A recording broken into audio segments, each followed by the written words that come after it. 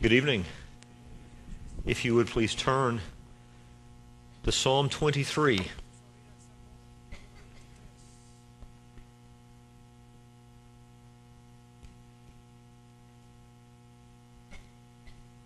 We read the 23rd Psalm, beginning with verse 1.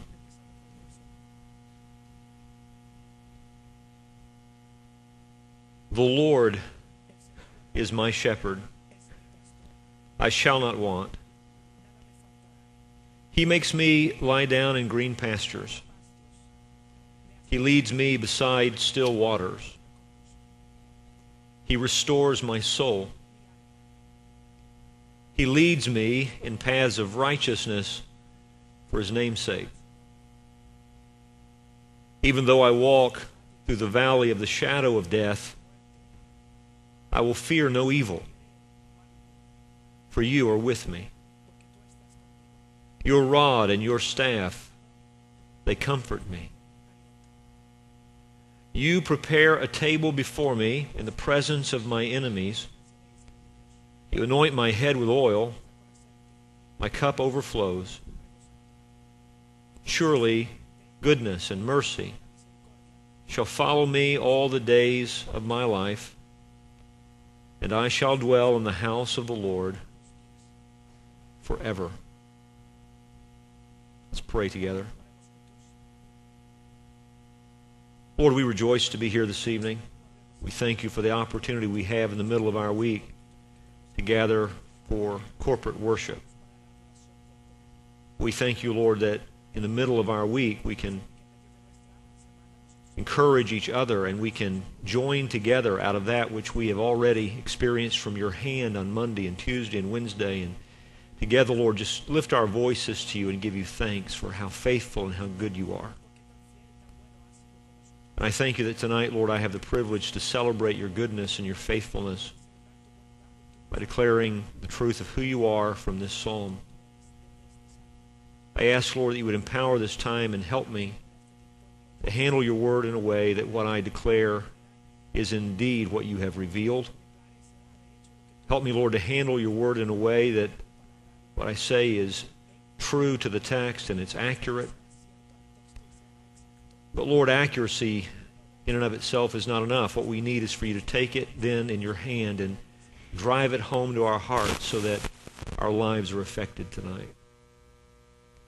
We ask, Lord, that you would edify your church. We ask that you would encourage your church. We ask that you would cleanse your church through the powerful ministry of your word. And Lord, if there's anyone in our midst tonight who doesn't have a saving relationship to you, our desire and our prayer is that you would open their heart, that you would shine the light of the knowledge of Christ in, that you would call them forth from the spiritual dead and make them a member of your family by faith in your Son. Lord, you alone can save, and so we ask you to save. And we will thank you for what you do. In Jesus' name, amen. Well, I think it's obvious, but at, at its heart, the 23rd Psalm is a psalm of confidence in God. It is a psalm of confidence in God. It is a confession of and a celebration of God's faithfulness. God's faithfulness, God's love, God's power toward his servant David and toward all of his children. David begins with a statement of personal relationship. He says, The Lord is my shepherd. And when we examined that statement, we noted four things about it. It is an astounding statement that God would be someone's shepherd, anyone's shepherd, but indeed, he shepherds all of his people. It is an astounding statement. It is a searching statement because not, not just anyone can make it and it be true. He is David's shepherd. He is the shepherd of everyone who truly belongs to God through faith in Christ. But the question is, is he really your shepherd? Do you know Christ? Have you been saved from your sins? Have you been brought into fellowship with God? Is He really, is God really your shepherd? It's a searching statement. It is a comforting statement because to say that the Lord is your shepherd is to acknowledge that everything that is true of God has now been committed to you, his child, in terms of his what is available to God to care for you and lead you and guide you and do all the things that he does in our lives. It is, it is Almighty God who is our shepherd. That should comfort us. It is a submissive statement because to make this statement is to acknowledge that you need a shepherd. And only a submissive heart will rejoice in the idea that the Lord is that shepherd. So it's a statement of relationship. And then following that statement of relationship, we walked with David through a survey of riches, the riches that belong to this relationship. If the Lord is your shepherd, then what is true? What is true in your life? What is true of this relationship? Well, the very first statement is when the Lord is your shepherd, you lack nothing. I shall not want. And we saw that that word want means to, to lack, to be without. I shall not lack. When the Lord is your shepherd, you are cared for. He makes me lie down in green pastures. He leads me beside literally waters of rest. And so the Lord feeds his sheep with tender green grass, and he waters and refreshes his people. You are well fed, you are refreshed when the Lord is your shepherd. You are provided for, your needs are met. And then we saw that when the Lord is your shepherd, you are, you are truly preserved. Verse 3 says, He restores my soul. And the word means to turn back. He, he leads me in paths of righteousness for His namesake. And so the Lord doesn't just leave us to go our own way, but He sets our feet on paths of righteousness, and He does this for the sake of His name. He preserves us in the way in which we should walk. He leads us on straight, right paths. Such is the richness of this relationship with God. But now, when you come to verse 4, you'll notice the language changes. Up to this point, David has spoken of God in the third person, hasn't he? David has written, He. He does these things, you see. He makes me lie down in green pastures. He leads me beside still waters. He restores my soul. He leads me in paths of righteousness for his namesake. When you come to verse 4, now it is the language of personal address. Even though I walk through the valley of the shadow of death, I will fear no evil, for you are with me. Not he is with me, but you are with me. Your rod and your staff, they comfort me. You prepare a table before me in the presence of my enemies. You anoint my head with oil. My cup overflows. This is not theoretical, this is personal. This is not, here is what I know is true of God, and therefore I can draw the conclusion it is true of me. There's nothing wrong with that or invalid about that, but he's doing something more. Now David is speaking directly to God. This is the language of personal relationship. Lord, this is how you have dealt with me personally and experientially. So that as we move into the next section of this psalm, this is how our own life is tested. Can we utter these personal affirmations? Uh, are these things really in our hearts? Can we say, Lord, you have done this for me? I will fear no evil, for you are with me. Can you say that? Your rod and your staff, they comfort me. You prepare a table before me in the presence of my enemies. Are these statements that you can make about your own relationship with God? So we move from a statement about personal relationship and a survey of riches to supernatural assurance. That's what these verses are about supernatural assurance. This is about a gift that God gives to his people. Assurance is a gift. Everything we've seen to this point warrants assurance. If verses 1 through 3 are true, and they are, then you ought to feel the way that David expresses himself in verses 4 through 6. Verses 1 through 3 warrant this. In fact, not only do they warrant it, they require it. If verses 1 through 3 are true, then verses 4 through 6 are true.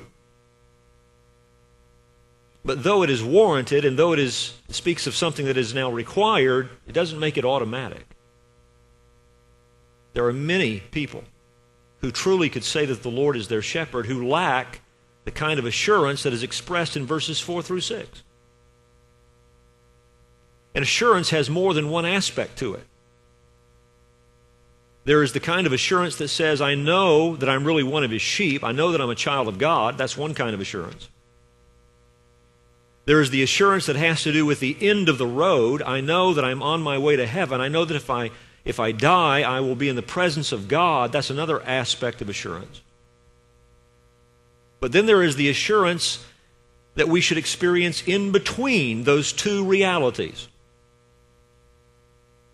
That in fact we will never experience until we bring logically and truly into our everyday experience the knowledge of those two realities. If the Lord has saved you and if He holds on to you and you're secure until the end, then what is His relationship to you in the present? Isn't it amazing that someone could say, I know that I'm saved, I know that I'm going, going to heaven one day, but now I have to battle this constant sense of anxiety in my life every day. I lack peace on a daily basis. How could that be true? Well, the way you're going to experience this assurance from the Holy Spirit is knowledge. You're going to have to take the knowledge of these things and really really look at these things and believe these things, but it's more it's more than knowledge. You have to choose to live your life in light of that knowledge. You have to in your own mind and heart relate yourself to God based on that knowledge. And so tonight we have the opportunity to have the Holy Spirit impart to our hearts a sense of assurance based upon the truth of our relationship to God. Look at verse 4. Even though I walk through the valley of the shadow of death, I will fear no evil. What kind of assurance do we have? What, what is this life of assurance? First of all, it's a life of trust the life of assurance, the kind of assurance we should have in the present, is that we really trust the Lord. We trust God.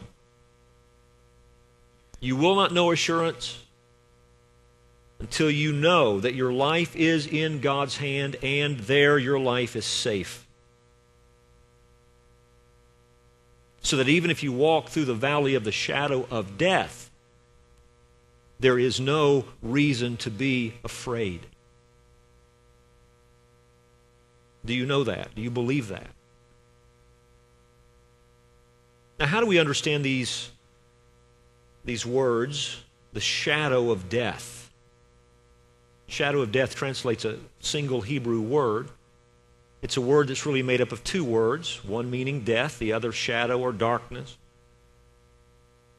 And sometimes when you have these, these words made up of more than, than one, the word that is is made is, is used of the superlative. And so some have taken this to mean the deepest darkness. Though I walk through the valley of the deepest darkness. And when you see how this particular word is used in the book of Job, especially, oftentimes it's used to speak of just darkness, a place of darkness. But also in the book of Job, it is used to speak clearly in one particular place of, of the darkness of death. And so, if we ask how, how should we apply this verse, one way that it's been applied by the Holy Spirit in the lives of God's people throughout the ages is when they are literally walking through the valley of death. When they are on death's doorstep, when they are coming to the end of their lives. It is no accident that the Spirit of God has comforted many believing hearts with that statement found in verse 4 when they were dying. And when this passage is applied to the death of the saints, it's completely accurate. Because our Lord and Savior walked a dark pathway before us in our place because he was forsaken, because he bore the wrath of God upon himself, because he conquered the grave and the serpent, death no longer holds the believer in bondage. It has no grip on us. When it's all said and done, there will be no sting in it for us. So that for a believer, when we, when we make our way from this life into the presence of our God, it is a walk, it's not a station. We're not stationed in a place of darkness and death. It's a walk and it's a valley, it's not a prison. It is a shadow because Christ endured the substance. It is darkness. It is sobering. It is real. But on the other side is light as the believer passes into the presence of God. And even where there is darkness, there is no reason for us to fear because for God, the darkness is as light. There's no difference. Psalm 139, verse 8 says, If I ascend to heaven, you are there. If I make my bed in Sheol, you are there. If I take the wings of the morning and dwell in the uttermost parts of the sea, even there your hand shall lead me, and your right hand shall hold me. If I say, Surely the darkness shall cover me, and the light about me be night, even the darkness is not dark to you. The night is bright as the day, for darkness is as light with you. We, as fellow believers, we can walk through a great many things together. When it comes to the day of our death, if the Lord should tarry and if we should live our lives to, to the end of those lives, we can't walk through that together. But we don't walk that pathway alone, do we? Yea, though I walk through the valley of the shadow of death, I will fear no evil, for you are with me. So one way it can be applied is to the, to the death of the saints, but also it can be applied to the way that we live our lives. It can be applied to every dark moment, even the, the deepest, darkest times in your life. The darkest times that you walk through from the standpoint of relationships. There are believers who gather with us every service who are hurting in some some area of relationship in their lives. Maybe it's with their children, maybe it's with the person they're married to, maybe it's with someone who is persecuting them. Dark times relationally. Sometimes we walk through valleys emotionally. Discouragement, depression is not a stranger to the saints of God. The idea that you're a Christian, therefore you will never know depression, is just a false idea. It's false from the standpoint of what is revealed in Scripture, and it's false from the standpoint of what we see in church history. Believers can struggle greatly in the realm of their emotions, and there are going to be days when we walk through dark times. And we can know dark times circumstantially, where it seems like there's no way out and we don't know what the solutions are. I thought Derek Kidner made a great point when he said, that we should remember that this valley is as surely the pathway of righteousness as the green pasture is.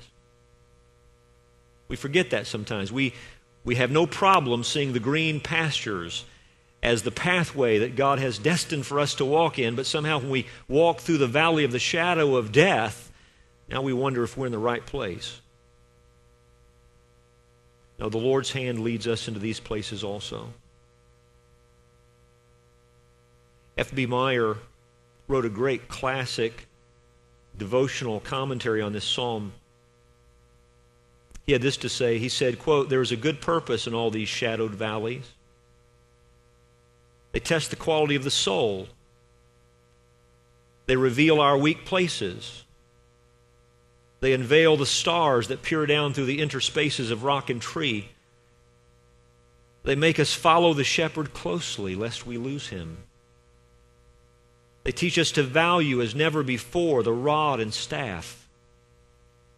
Blessed are those who do not see, but who yet believe, and who are content to be stripped of all joy and comfort and ecstasy if it be the shepherd's will, so long as there is left to them the sound of his voice and the knowledge that he is near. Close quote. We all know it. Every believer could stand and testify that some of the closest times of fellowship that you've ever known with our God have been times that were dark times for you.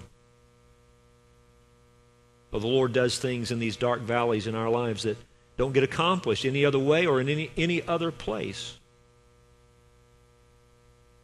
So, what is David's affirmation concerning these valleys? Verse 4 Even though I walk through the valley of the shadow of death, he says, I will fear no evil.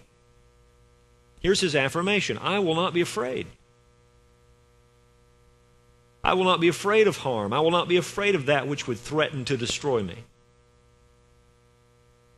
Be it in the relational realm or be it in the emotional realm or in the realm of my circumstances. I will not be afraid.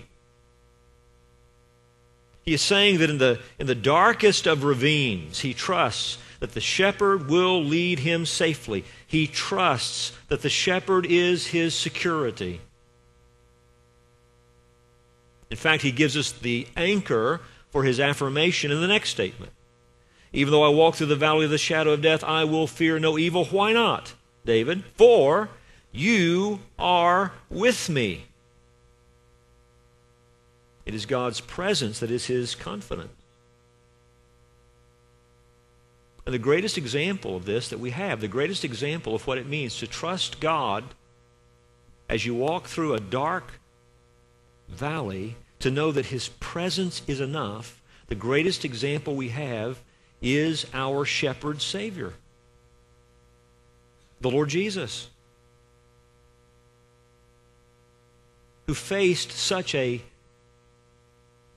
valley of the shadow of death that he could even say, Father, if it be thy will, let this cup pass from me. Yet not my will be done, but yours. He trusted the Father every step of the way, all the way to the cross.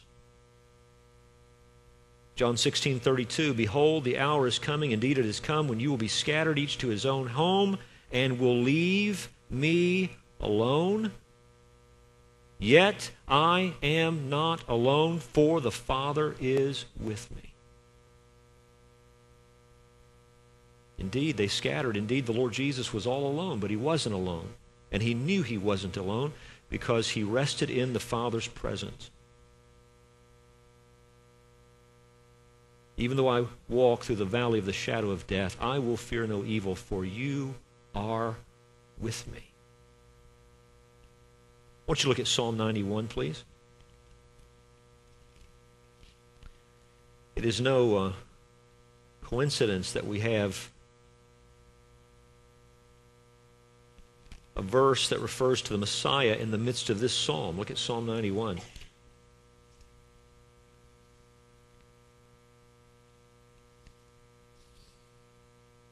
He who dwells in the shelter of the Most High will abide in the shadow of the Almighty. I will say to the Lord, My refuge and my fortress, my God in whom I trust. For he will deliver you from the snare of the fowler and from the deadly pestilence. He will cover you with his pinions, and under his wings you will find refuge. His faithfulness is a shield and buckler. You will not fear the terror of the night, nor the arrow that flies by day, nor the pestilence that stalks in darkness, nor the destruction that wastes at noonday. A thousand may fall at your side, ten thousand at your right hand, but it will not come near you. You will only look with your eyes and see the recompense of the wicked because you have made the Lord your dwelling place, the Most High, who is my refuge. No evil shall be allowed to befall you, no plague come near your tent. For he will command his angels concerning you to guard you in all your ways. On their hands they will bear you up, lest you strike your foot against a stone. You recognize that, don't you? You will tread on the lion and the adder, the young lion and the serpent. You will trample underfoot, because he holds fast to me in love. I will deliver him. I will protect him, because he knows my name. Folks, the scripture says that everyone who knows the name of God puts their trust in him. To know his name is to know that he's trustworthy. Verse 15, when he calls to me, I will answer him. I will be with him in trouble. I will rescue him and honor him. With long life, I will satisfy him and show him my salvation. Look back at Psalm 23. So David expresses his confidence in the Lord. This is the life of assurance. This is the assurance that you have when the Lord is your shepherd. You can trust him even in the darkest place, even in the deepest valley. But now there's a, a second expression of assurance. The life of assurance is not only a life of trust, it is a life of security. Into verse 4 Your rod and your staff they comfort me. The rod and the staff. The rod used for protection, short handle, larger at the top, used for fighting off predators, used for defending against robbers.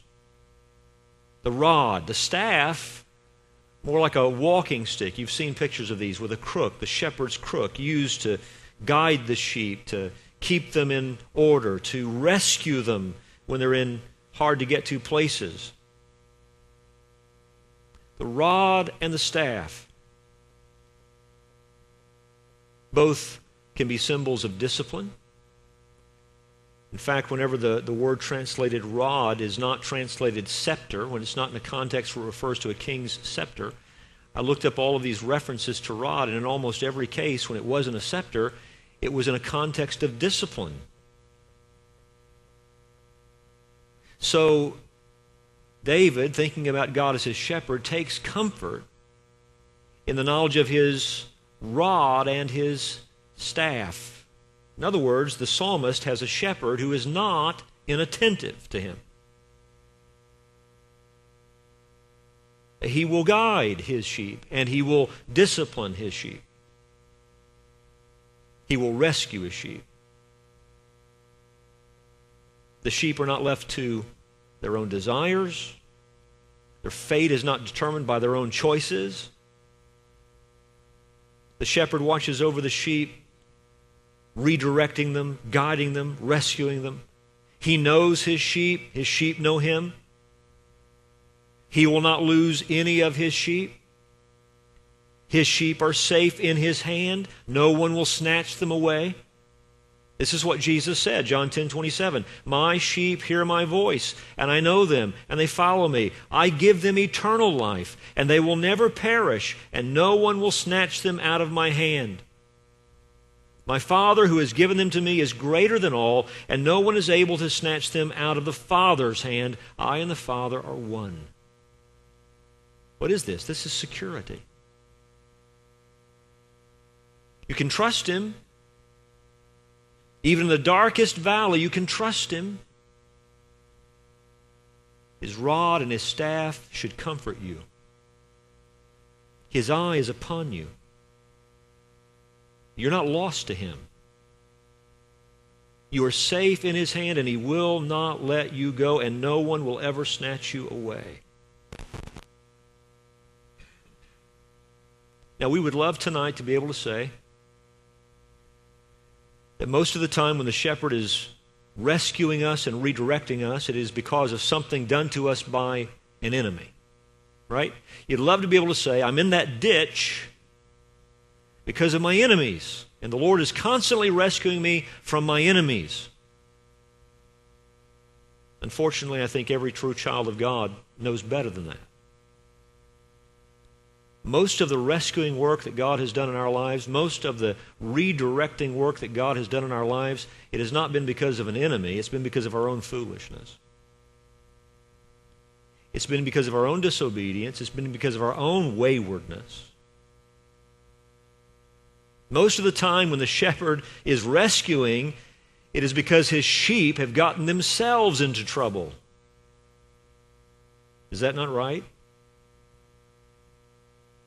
Again, Meyer captured this very well when he said this. Very often, sin not only grieves him, but it plunges us into circumstances of misery and trouble which threaten to overwhelm us. At such times, he is not unmindful of his own. And though we may seem to have forfeited all claim to his care, yet he is a very present help in time of trouble. He does not permit us to reap what we have sown. It, let me just stop there for a moment and ask you can anyone say here that you have reaped everything you have sown? I read on. He says this He averts the full penalty of our own mistakes and misdeeds. He comes after us in the wilderness, not staying his foot until he has discovered the pit into which we have fallen, from which he does not fail to drag us forth, placing us on his shoulders if we are too weak to walk, and bringing us back, satisfied with no other recompense than that we are safe.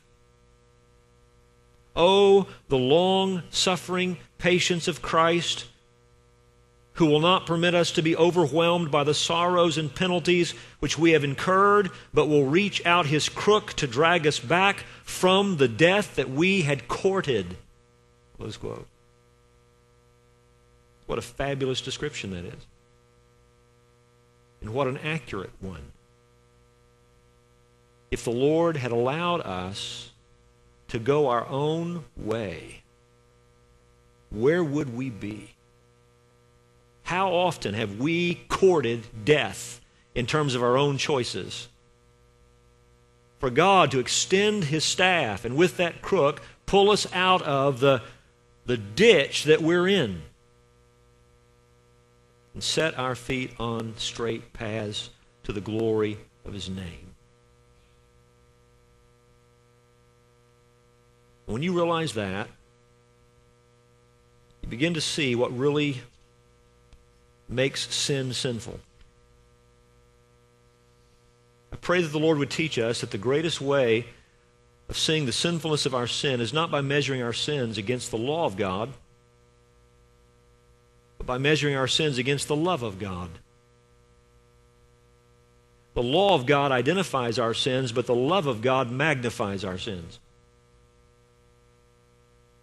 Because the Lord has been good to us despite our sinfulness. The Lord has loved us despite our waywardness.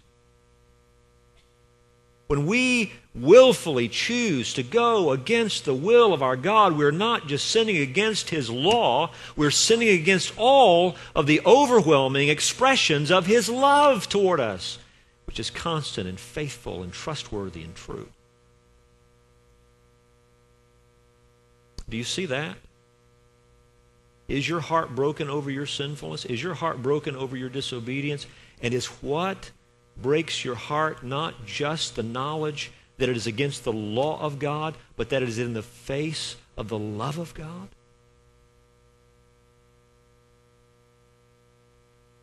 And yet, how faithful our shepherd is to not deal with us according to our sins, but according to his mercy. O oh Lord, if you should mark iniquities, what? Who could stand?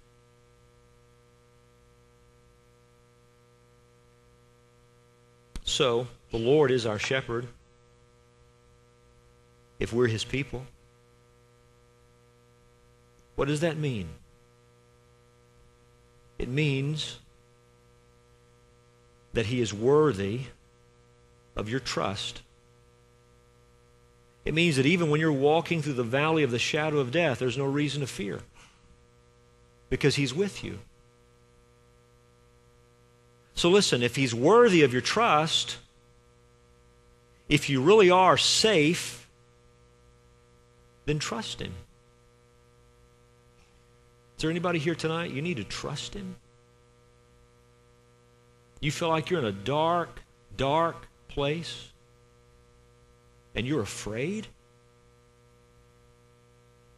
If the Lord is your shepherd, though you walk through the valley of the shadow of death, do not fear. He is there. When the Lord is your shepherd, it means that He is in charge of your safety. You are secure. There is a rod that will fight off the predators, and there's a staff that will keep you in line and even pull you out of the mud. The Lord is your shepherd. Now, will you rest in that knowledge? Will you recognize that your whole life is really in His charge? It really is in His charge. He really is in control. He really is in control. Everything you think you control, it's just a mirage, folks. It's just an imagination. Your life is in His hand. Will you rest there? And then when you recognize this, will you love Him for it? Will you tonight discover that the greatest motivation you have to live a life that honors His name is that you are loved by Him. And you, therefore, love Him back. Let's bow together for prayer.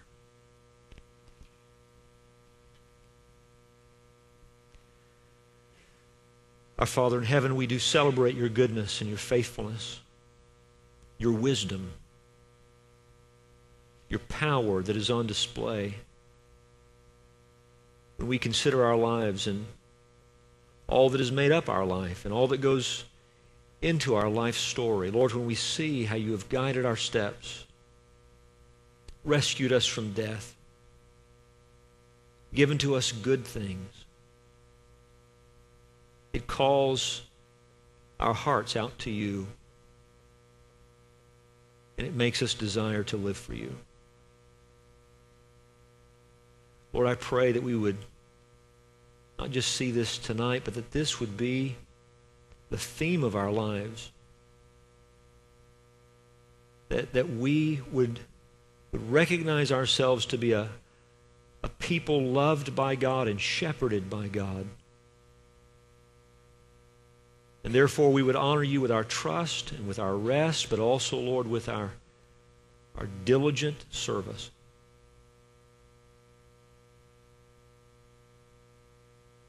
I ask you for this tonight in Jesus' name.